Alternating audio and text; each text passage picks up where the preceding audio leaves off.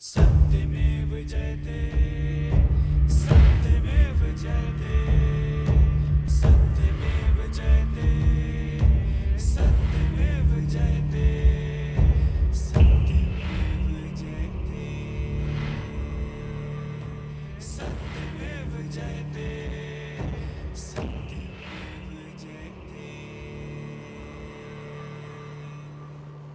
नमस्कार, रात के नौ बज चुके हैं। मैं हूँ श्री शुक्ला सत्यमेव जयते में आपका बहुत बहुत स्वागत है।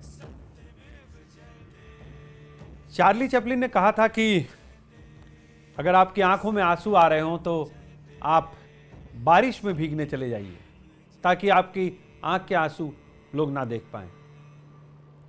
जी हाँ बिल्कुल, क्योंकि दुख इतने सारे हैं, लोगों को दुख दिखाने का कोई मतलब नहीं है। तो इस चीज़ को मैं थोड़ा सा और आगे बढ़ाता हूँ कि चार्ली चैपलिन ने जो अपना अंदाजे बयां था, उनका बहुत ही खूबसूरत था कि आप बारिश में चले जाइए ताकि आपके आँख आँसू ना दिखें। और अगर आपको किसी ने धोखा दिया है तो आप और विश्वास कीजिए। और ज़्यादा विश्वास आपको होना चाहिए। और उस विश्वास को और बढ़ाते रहिए बढ़ाते रहिए बढ़ाते रहिए। और अगर किसी ने आपको पीड़ा दी है तो आप बहुत हंसिए। मुस्कुराइए।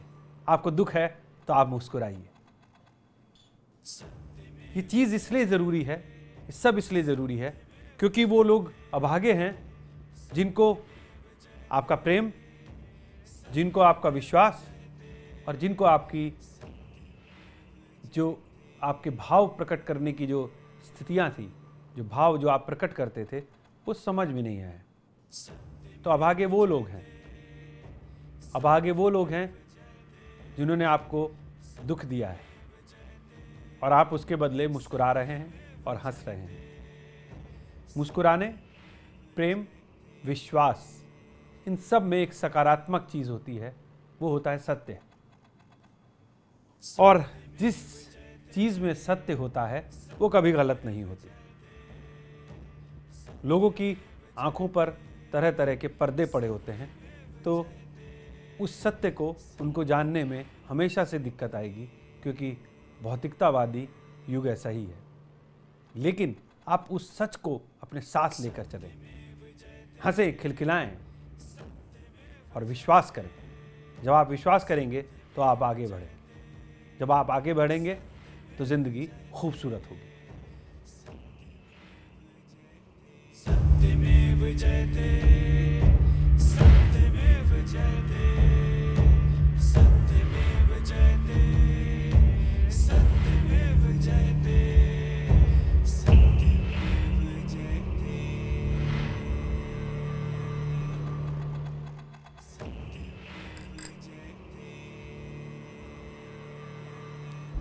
संत कबीर नगर में आज भी गुलामी की ज़िंदगी जीने को मजबूर हैं लोग। में दावल में एक महिला से शौचालय बनाने के लिए वसूले जा रहे थे पैसे, मना करने पर शौचालय न बनने देने की धमकी।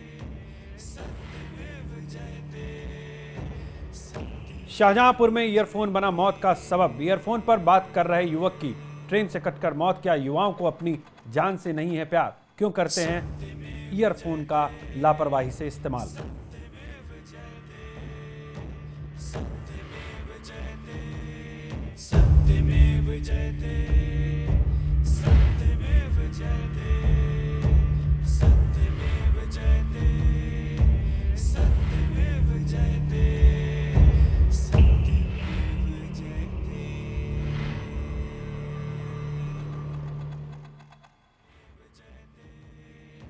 देश को आज़ाद हुए सत्तर साल का लंबा अरसा गुजर चुका है। लेकिन अंग्रेज़ों के जाने के बाद भी आज़ाद भारत में आज भी कुछ लोग गुलामों जैसी ज़िंदगी जीने को मजबूर हैं। संत कबीर नगर ज़िले के नगर पंचायत मेहदावल में आज भी लोग ज़मींदारी प्रथा जैसी गुलामी की जंजीरों में चकड़े हुए हैं। यहाँ ज़मींदार दुकानों से दो रुपए से लेकर पाँच रुपए तक की वसूली करता है। वहीं नगर पंचायत में अगर कोई मकान बनाने के लिए एक ईंट भी रखता है तो ज़मींदार मकान मालिक से बाकायदा वसूली करते हैं। इतना ही नहीं, गौशाला इलाके के दलित पूर्वा में तो ज़मींदारों का खौफ इस कदर है कि यहाँ मकान बनाना तो दूर, लोग शौचालय भी नहीं बना पाते। एक पीड़ित महिला आरती देवी ने अपना दर्द बयां करते हुए अपनी पीड़ा सुनाई कि सरकार से उसे शौचालय बनाने के लिए पहली किस्त के चार हज़ार रुपये मिले थे। जब उसने शौचालय बनाने के लिए गड्ढा खोदा और ईंट मंगानी शुरू की, वैसे ही वहाँ के तथाकथित स्थानीय जमींदार आ धमके और उन्होंने शौचालय बनाने के पहले ज़मींदारी मांगनी शुरू की। यानी वसूली करनी शुरू की। और जब आरती देवी ने ज़मींदारी देने से मना कर दिया तो ज़मींदारों ने शौचालय न बनाने की धमकी दी। अब मैं आपको सुनाता हूँ, राकेश सिंह, ये बीजेपी के विधायक हैं, मेहदावल। और ये क्या कह रहे हैं और इनकी व्यथा क्या है? क्योंकि इस खबर को अगर और तस्दीक करना हो तो इनकी जो जो वक्तव्य है, वो ध्यान से सुनिए, इनकी बाइट जो है, उसको ध्यान से सुनिए, क्या आखिरकार सत्तर साल बाद भी हम किस दुनिया में जी रहे हैं? मेहदावल नगर पंचायत में जमींदारी प्रथा लागू है। आज़ादी के लगभग 75 साल बीत चुके हैं, लेकिन आज भी वहाँ जमींदारी प्रथा चल रही है। और वहाँ पे गरीबों का शोषण है, गरीबों का उत्पीड़न है। मैंने वहाँ नगर पंचायत में पूरा भ्रमण करके सबसे वहाँ की स्थिति की जानकारी भी की है। और वहाँ का विकास भी अवरुद्ध है। इस जमींदारी प्रथा लागू होने के कारण बहुत सारे जो विकास के हमारे कार्य चल रहे थे, उस पर भी रुका हुआ है। इसी कारण मैं इसमें पहल किया हूँ शासन में। माननीय मुख्यमंत्री जी को मैंने पत्र दिया है कि यहाँ की जमींदारी को प्रथा को समाप्त किया जाए और यहाँ मेहदावल का जिससे समग्र विकास हो सके। ये वक्तव्य, ये स्टेटमेंट राकेश सिंह बीजेपी के हैं, विधायक हैं। ये सुनवाना इसलिए बहुत ज़रूरी था क्योंकि ये क्षेत्रीय प्रतिनिधि हैं, विधायक हैं। और अगर वो विधायक हैं और खुद ही ये स्वीकार कर रहे हैं कि यहाँ पर ज़मींदारी की प्रथा अभी तक चल रही है तो कितना बड़ा सवाल या निशान है। इस सिस्टम पर, लोकतंत्र की दुहाई देने वालों पर, लोकतंत्र के रक्षकों पर, लोकतंत्र का झंडा बुलंद करने वालों पर कि जमींदारी खत्म हुए, अरसा बीत चुका है। लेकिन इस देश के अंदर एक गाँव ऐसा भी है, जहाँ अभी भी जमींदारी प्रथा लागू है और सरकार का एक विधायक कह रहा है कि ये प्रथा खत्म होनी चाहिए। लेकिन आज तक ये प्रथा खत्म नहीं हुई। आप सोचिए, ये सिस्टम किस कदर सड़ा गला हुआ है। सड़गल रहा है। कितनी सरकारें आई होंगी? कितनी सरकारें बनी होंगी? और एक गाँव को वो जमींदारी प्रथा से मुक्त नहीं करा पाए। यानी कि जो सबसे जुल्म ढाने वाला अगर अंग्रेज़ों के शासन में कोई व्यक्ति होता था तो वो जमींदार था। अगर आप उसको लगान नहीं देते थे, वसूली नहीं देते थे तो वो आपकी खाल उधड़वा लेता था। उसको बेगारी करनी पड़ती थी।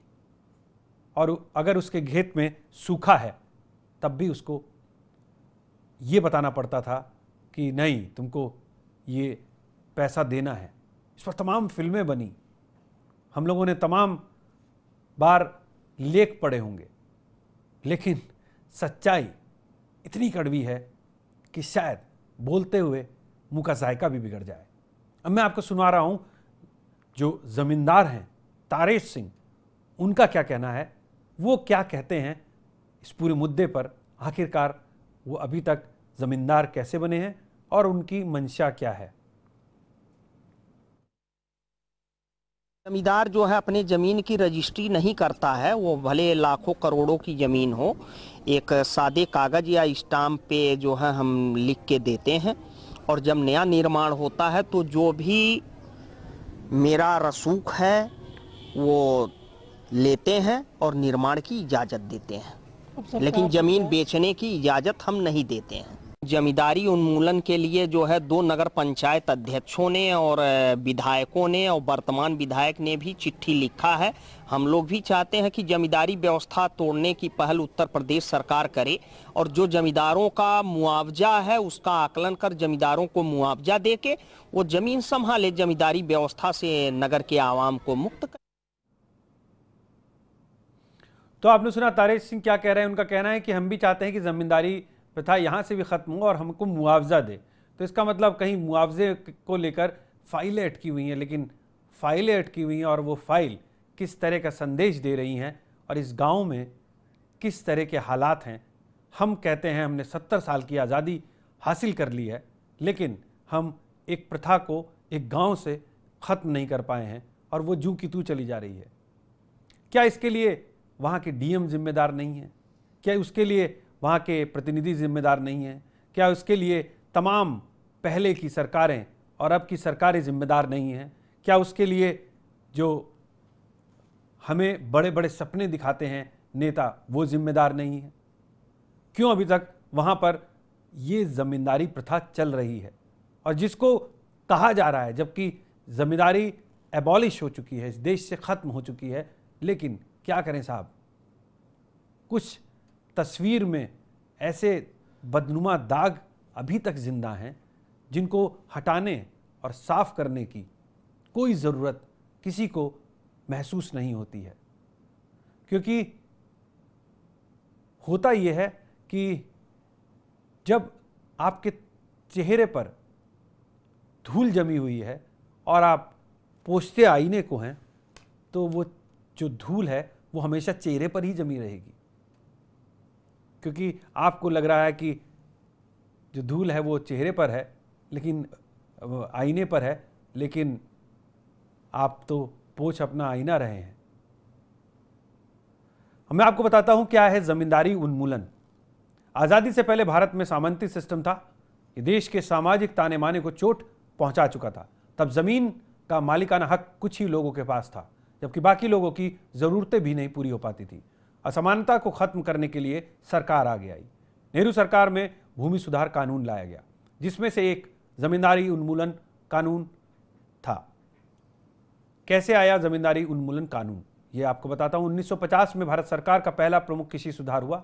उत्तर प्रदेश, मध्य प्रदेश, बिहार में पहले ही ये बिल ले आया गया था। मद्रास, असम और बॉम्बे में, मुंबई में ये उन्नीस सौ उनचास में बिल लाया गया। सभी राज्यों ने यूपी के प्रारंभिक मॉडल को अपनाया। उत्तर प्रदेश जमींदारी उन्मूलन समिति की रिपोर्ट को माना।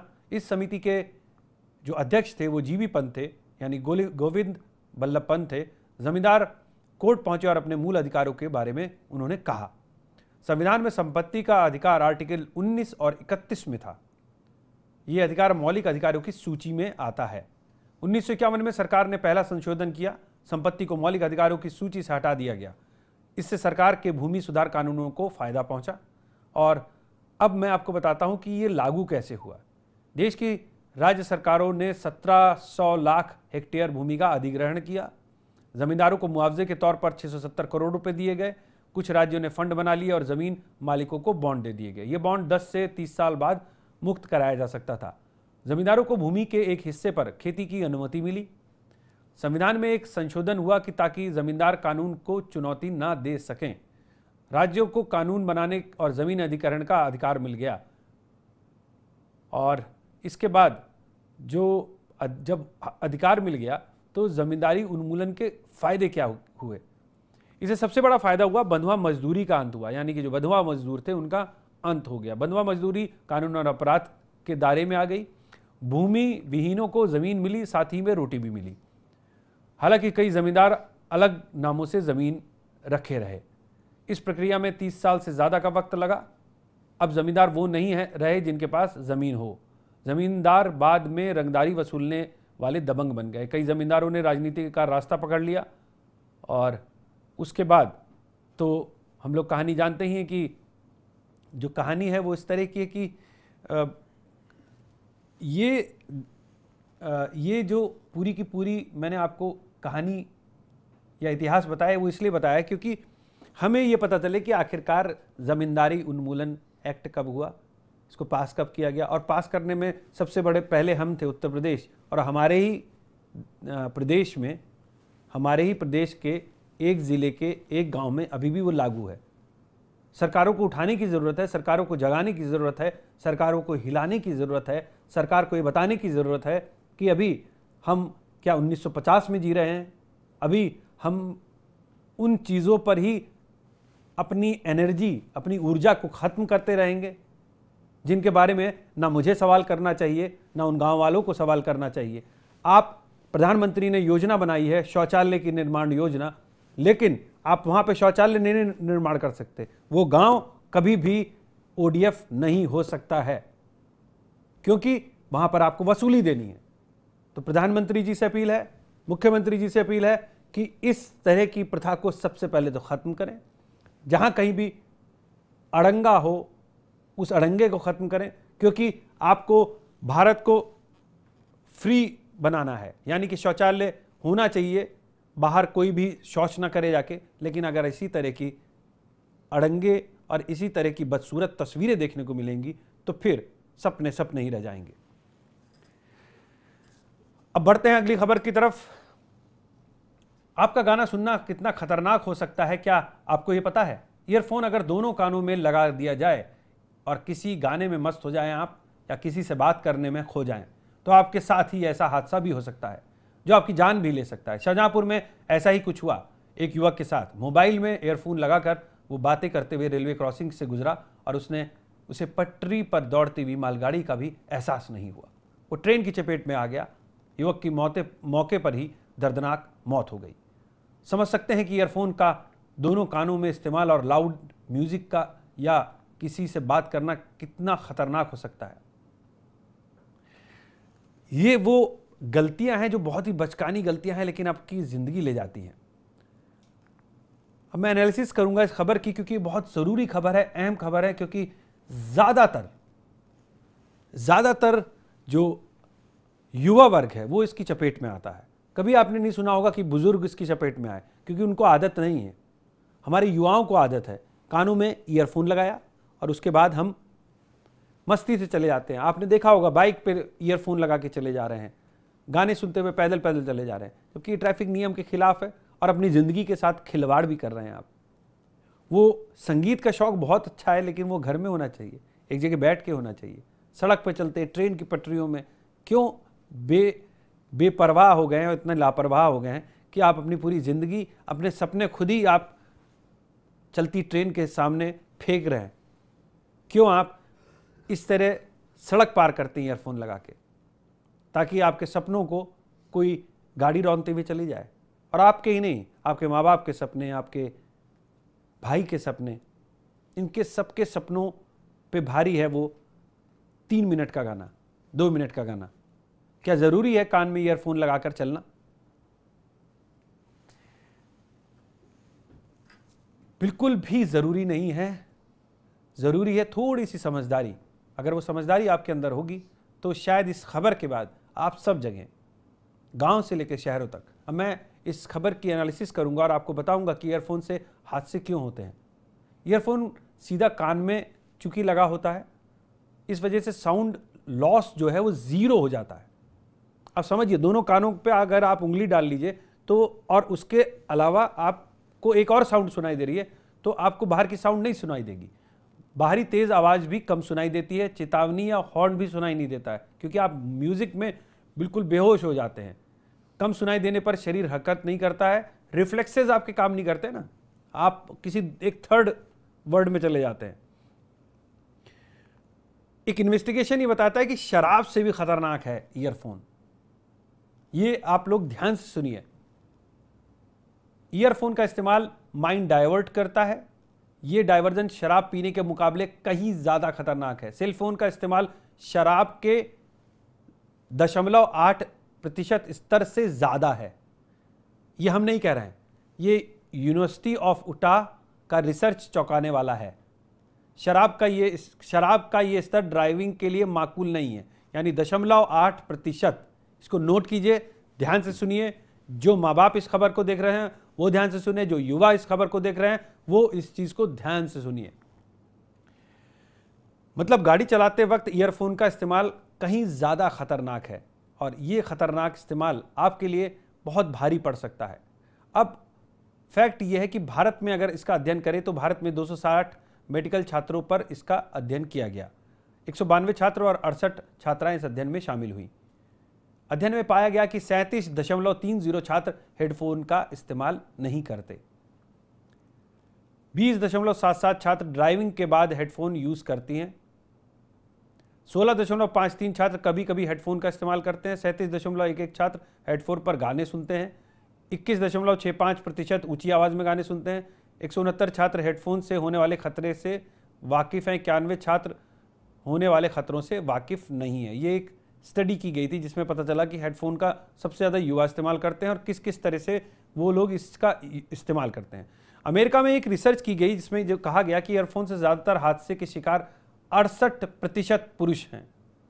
यानी कि पुरुष जो कि अपने को बुद्धिमान होने का दावा करते हैं और कहते हैं कि हम दुनिया पे राज करते हैं पॉलिटिकल पार्टीज़ चलाते हैं, लेकिन आप प्रतिशत देखिए कि प्रतिशत क्या है और किस गलती का ही प्रतिशत है।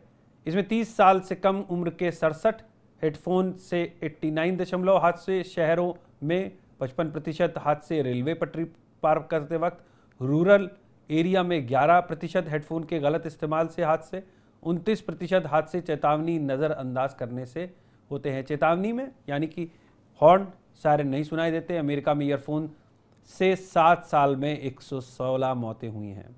ये डेवलप्ड कंट्री की बात है। अब अगर हम बात करें कि ये- जो हादसे हैं और ये जो हादसों की रिपोर्ट और हादसों की रिसर्च बता रही है, ये बता रही है कि पूरे वर्ल्ड में एक लापरवाही घर कर गई है, यानी कि ये ईयरफोन लगा के चलने की। ये फ़ैशन के मारे भी होता है। लेकिन फ़ैशन तो तब तक अच्छा है ना, जब जब तक आप ज़िंदा हैं। अगर अगर आप ज़िंदा ही नहीं रहेंगे तो फ़ैशन किस बात का करेंगे? तो कोई ऐसा फ़ैशन नहीं कीजिए कोई ऐसी आदत नहीं डालिए जो आपकी आखिरी आदत साबित हो, या आपका आखिरी फ़ैशन साबित हो। आप किसको बताना चाहते हैं कि आपको गाना बहुत अच्छा लगता है? सड़क चलने के लिए बनाई गई, गाने सुनने के लिए नहीं बनाई गई है। तो सबसे पहले युवाओं से मेरी गुजारिश है कि वो लोग ये समझें कि जो स्थान जिसके लिए बनाया गया है, वो उसी के लिए इस्तेमाल करें। गाड़ी चलाते वक्त ईयरफोन का इस्तेमाल ना करें, माँ बाप भी इस पर रोक लगाएँ क्योंकि बहुत दुख होता है जब हम लोग इस तरह की खबरें सुनते हैं। तो मेरी आपसे गुजारिश है कि आप कृपया करके ध्यान रखें और ट्रैफ़िक पुलिस वालों से भी गुजारिश है कि ऐसे लोगों को रोक कर चालान ज़रूर करें, क्योंकि हो सकता है चालान करेंगे, उनको फौरी वक्त बुरा लगेगा, लेकिन उनकी ज़िंदगी बचेगी। अब बात करते हैं आज के रियल हीरो की। कुप्रथाओं के बोझ तले दबे समाज को उबारने वाला ही रियल हीरो है। सैकड़ों साल से चली आ रही मैला ढोने की प्रथा को महज दशक में ही खत्म कर देना युग बदलने जैसा है। देखिए आज के हीरो की ये रिपोर्ट।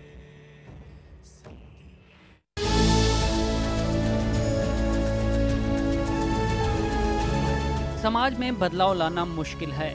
बात जब कुप्रथाओं की हो तो ये नामुमकिन सा लगता है। लेकिन फतेहपुर में एक महिला ने वो कर दिखाया है जो पीएम मोदी का सपना था।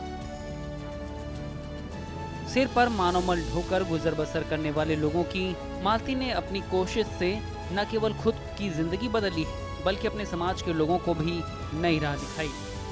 मालती की माने तो मैला ढोने की कुप्रथा को रोकने के लिए उसने शहर से लेकर ग्रामीण इलाकों तक जागरूकता अभियान चलाया। एक दशक से चल रहे अभियान का नतीजा ये रहा कि आज वाल्मीकि समाज में बदलाव आया और इस कुप्रथा का कलंक मिट गया। बचपन से ही मैं ये देखने चली आ रही कि हमारे समाज में बाल्मीक महिलाएँ ही मानो मानो मल ढोने का काम करती थी। तो कहीं ना कहीं मेरे अंदर ये जगह कि आखिर ये महिला, ये महिलाएँ सुबह से उठकर ये काम करने जाती हैं तो इनके बच्चों का पालन पोषण कैसे हो सके? तो ये मेरे अंदर से जगह जगह कि ये काम बंद होना चाहिए, ये महिलाओं का काम छूटना चाहिए, ये घड़ित पे खराब काम है इनके लिए। मालती का लोहा अब लोग मानने लगे हैं। उसके काम की ज़िले में सराहना हो रही है। अब मालती ने अपनी इस मुहिम में एक कड़ी और जोड़ दी है। अब भूमिहीन बाल्मीकि समाज के लोगों को ज़मीन दिलाकर उसे रोज़गार से जोड़ने की शुरुआत की गई है, जिसको लेकर जागरूकता अभियान जारी है। सरकार से हमारी एक अपील यही है कि इन महिलाओं का काम छोड़ने पर इनको रोज़गार की जगह रोज, रोज़गार दिया जाए। प्लस एक बात ये है कि इनको पाँच एकड़ खेतियर भूमि मुहैया कराया गया, जिससे ये स्वयं से काम कर कर अपने रोज़गार की पूर्ति कर सके, स्रोत को बढ़ा सके। मालती को विभिन्न संस्थाओं ने समय समय पर सम्मानित करके हौसला बढ़ाए जाने का काम किया है। सत्यमेव जयते भी अपनी सीरियल हीरो को सलाम करता है। सत्यमेव जयते के लिए फतेहपुर से महेश कुमार की रिपोर्ट।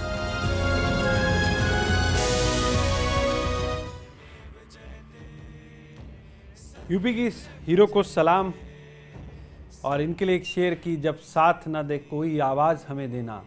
हम फूल सही लेकिन पत्थर भी उठाएँगे। यानी कि जब कोई साथ नहीं देता है और इस तरह की अगर परंपरा को वो अकेले ख़त्म कर रही है तो वो ये कहती हुई नज़र आ रही हैं कि जब साथ न दे कोई तो आवाज़ हमें देना। ये फूल सही हैं, लेकिन ये पत्थर भी उठाएँगे। पत्थर वो वाला नहीं, जो दूसरे के माथे पर चोट पहुँचा दे।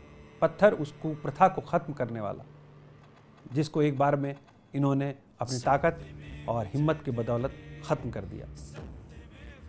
और आपको इनको इस तरह से कुछ जवाब देना पड़ेगा कि धूप के छप्पर हो या छाँव की दीवारें, अब जो कुछ भी उठाएँगे, हम मिलजुल कर उठाएँगे। क्यों नहीं हम इनका साथ देते हैं? क्यों नहीं उनके हाथ में हाथ बटाते हैं? क्या इनकी अकेले की ज़िम्मेदारी है कि वो अकेले ही इस तरह की कुप्रथाओं को ख़त्म करें? हमें और आपको मिलकर चलना होगा।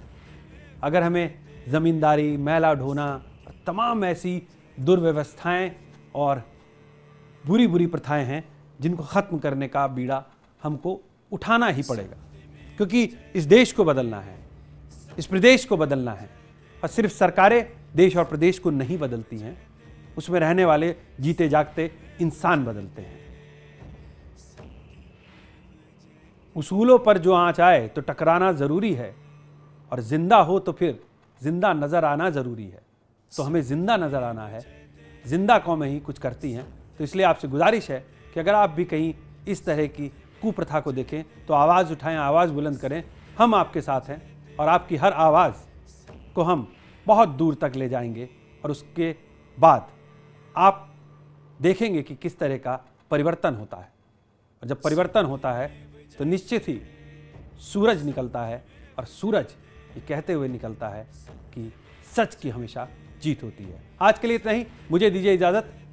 और अगर आपको अपनी राय भेजनी हो तो फेसबुक ट्विटर और जीमेल के ज़रिए मुझे आप अपनी राय भेज सकते हैं। नमस्कार।